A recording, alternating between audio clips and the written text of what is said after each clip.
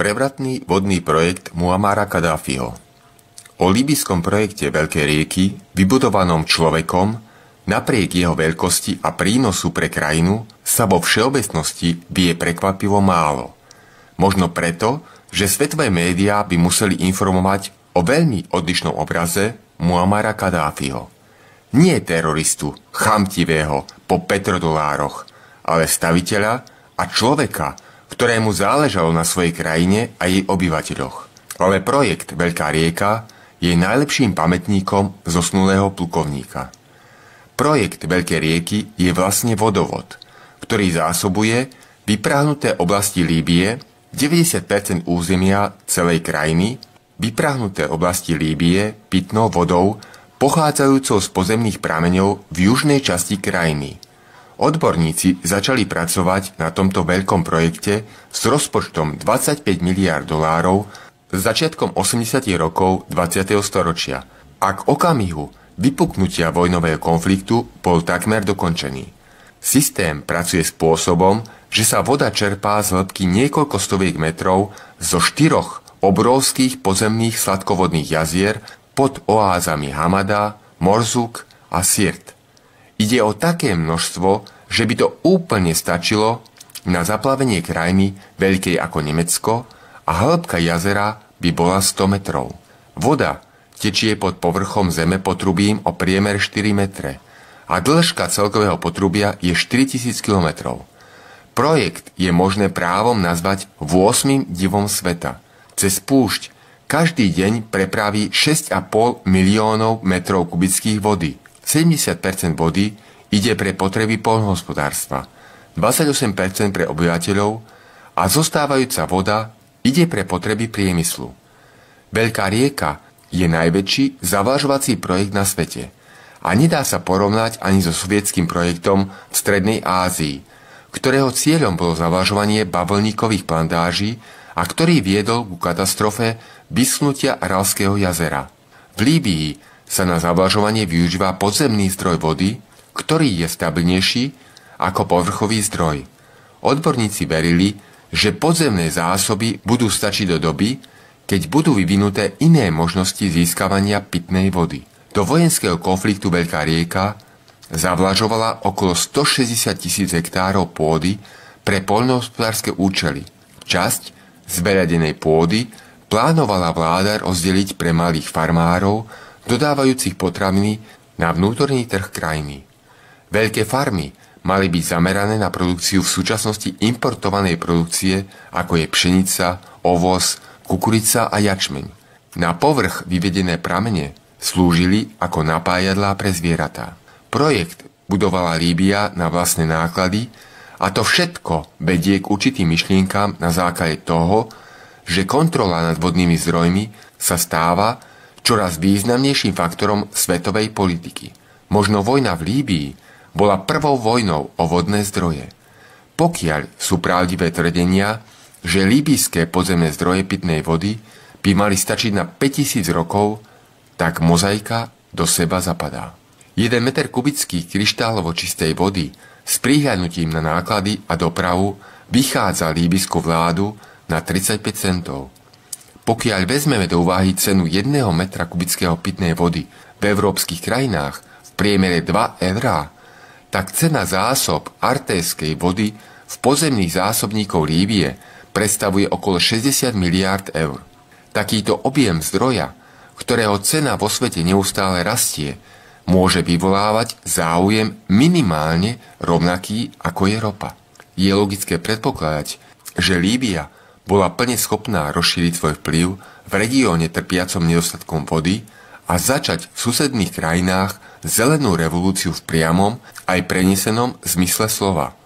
S vyriešením zavlažovania severoafrických polí by sa väčšina problémov s nedostatkom potravín vyriešila veľmi rýchlo a zabezpečila by krajinám ekonomickú nezávislosť.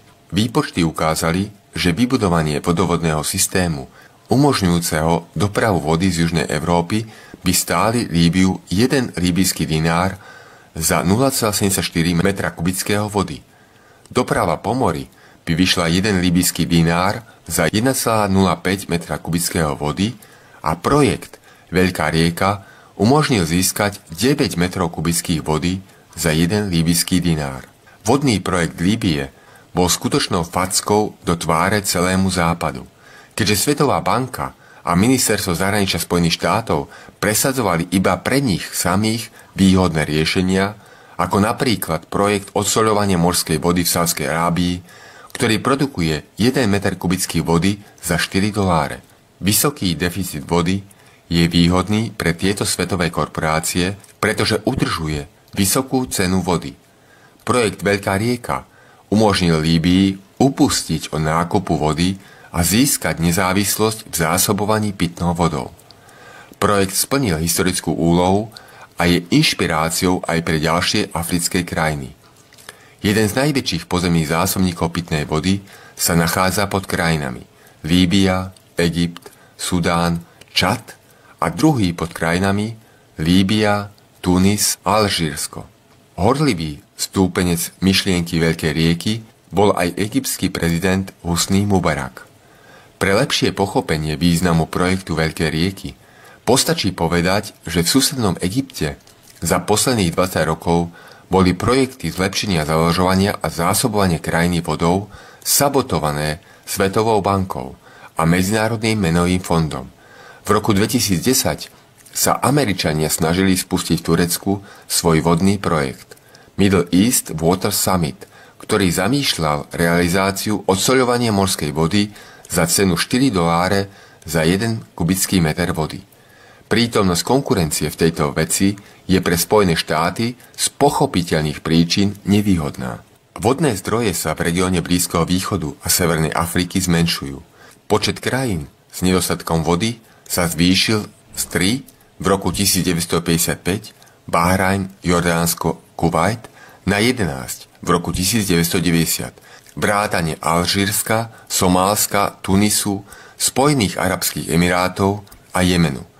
Očakáva sa ešte minimálne 7 krajín sa pridá do tohto zoznamu do roku 2025. Kritická situácia s vodnými zdrojmi už splodila konflikty na Blízkom východe a v Severnej Afrike – medzi Tureckom a Sýriou kvôli riekam Tigris a Efrat a tiež medzi Egyptom, Sudánom a Etiópiou kvôli rieke Níl.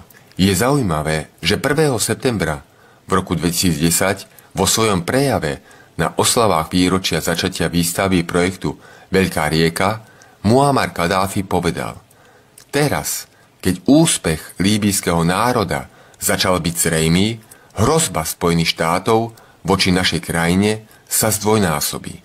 Zástupca pobočky Tatneft Nail Chabibulin povedal, v Líbii bol výbor Veľkej rieky, bola to organizácia hodnosti ministerstva so štátnym rozpočtom pre túto rieku. Projekt bol veľmi ambiciózny a potrebný. Stačí povedať, že hlavné mesto Tripolis a Sirt sú zásobované vodou z tohto projektu. Voda tiekla stovky kilometrov a sieť potrubí je veľmi rozvetená. Súbežne s projektom Veľkej rieky šli aj projekty pestovania poľnohospodárskych plodín. Aj keď v Líbii nie je viac veľkých zdrojov pitnej vody, tak výpadky v dodávkach nikdy neboli. A ľudia používali vodu bez akýchkoľvek obmedzení a meračov zadarmo. Technický riaditeľ pobočky Tupolev, Lev Nedzelský, po prvýkrát prišiel do Líbie začiatkom 80. rokov a druhýkrát v roku 2000. Premeny boli podľa jeho slov pôsobivé. Spočiatku naše bombardéry umiestnili na leteckú základňu pri stredozemnom mori asi 5 km od Tripolisu, ale v prímorskej klíme technika rýchlo korodovala. Preto sa líbyská vláda rozhodla vybudovať leteckú základňu v púšti, pretože v púšti nič nehnie Všetko i hneď vysychá. Miesto vybrali pri oáze El Jofre, kde je krásne, modré jazero, v ktorom sa žiadalo i hneď sa kúpať. Ale koncentrácia solí vo vode bola taká, že o kúpaní nemohlo byť ani reči. Niektorí naši to vyskúšali, ale čoskoro ich trápili exémy. Tak od tej doby sme sa na jazero iba pozerali. Vtedy, keď sme vyšli z domu, tak všade naokolo bola iba púšť. A teraz? Bol som tam v roku 2003 a všetko sa radikálne zmenilo. Objavilo sa veľké, minimálny kilometr široké jazero, do ktorého čerpajú vodu. Teraz je v ňom možné sa kúpať a aj ryby tam chovajú. Palmy je vidno na široko ďaleko a okrem toho sa pozemné vody a celková klíma zmenila. Začalo tam pršať. Neuveriteľné. Obyvatelia hovorili, že dážď v týchto miestach nikdy nevideli. Ukázali nám lodný prístav, športové zariadenia, veľkú koncertnú sálu, hotely. Namiesto oázy je tam veľké mesto, veľké zmeny a bolo cítiť, že Líbičania sú hrdí na svoju prácu. Veľmi sa divím, prečo je u nich revolúcia, keď si tak dobre žili.